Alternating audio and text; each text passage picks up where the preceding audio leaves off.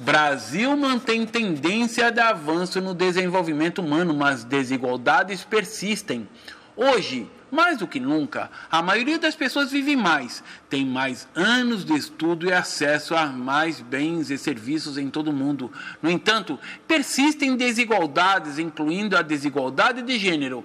A conclusão tem como base o estudo Indicadores e Índices de Desenvolvimento Humano, a atualização estatística 2018, lançada mundialmente nesta sexta-feira pelo Programa das Nações Unidas para o Desenvolvimento, PNUD.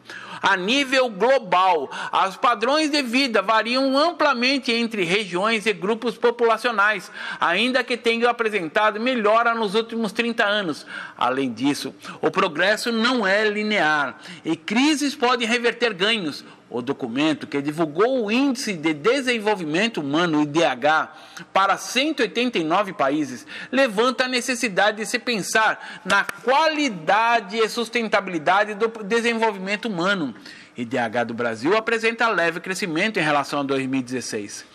Em relação a 2016, o Brasil apresentou melhora de 0,001 no Índice de Desenvolvimento Humano DH, no valor de 0,759 e no ranking mantém a posição 79 entre 189 países na América do Sul. O Brasil é o quinto país com maior IDH.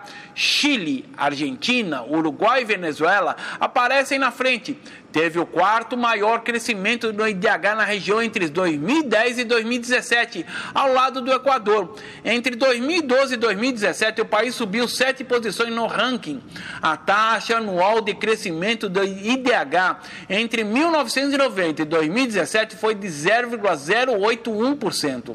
No mesmo período, os brasileiros ganharam 10,4 anos de expectativa de vida e viram a renda aumentar 28,6%. Na educação, a expectativa de anos de escolaridade para uma criança que entra no ensino em idade escolar aumentou 3,2 anos. É a média de anos de estudo de adultos com 25 anos ou mais subiu 4 anos. Índices mostram que desigualdade persiste. No IDH ajustado à desigualdade, um método de, que relativiza o desenvolvimento humano em função da diferença entre os mais e menos abastados de um país, o Brasil é o terceiro país na América do Sul que mais perde no IDH, devido ao ajuste realizado pela desigualdade, ficando atrás do Paraguai, 25,5%, e da Bolívia, 25,8% em relação ao coeficiente de Gini 2010-2017, instrumento que mede o grau de concentração de renda em determinado grupo e aponta a diferença entre os rendimentos dos mais pobres e os mais ricos. O Brasil possui o nono pior valor do mundo, 51,3%.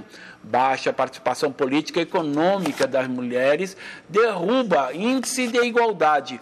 O documento detalha também a realidade das mulheres brasileiras, desagregando IDH por gênero e avaliando saúde reprodutiva, empoderando e atividade, atividade econômica feminina.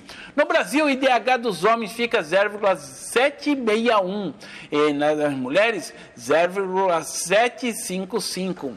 Apesar das mulheres terem melhor desempenho em dimensão educação e longevidade que os homens, a renda das mulheres em RNB per capita é 42,7%, menor que a dos homens, 17,566 para os homens contra 10,073 para as mulheres. Já o índice de desigualdade de gênero avalia desigualdades em três dimensões sensíveis à questão de gênero: saúde reprodutiva, empoderamento e mercado de trabalho. O Brasil ocupa a 94ª posição, com valor de 0,407. Vale ressaltar que o país com o menor IDH do mundo tem mais mulheres no assento no parlamento do que o Brasil.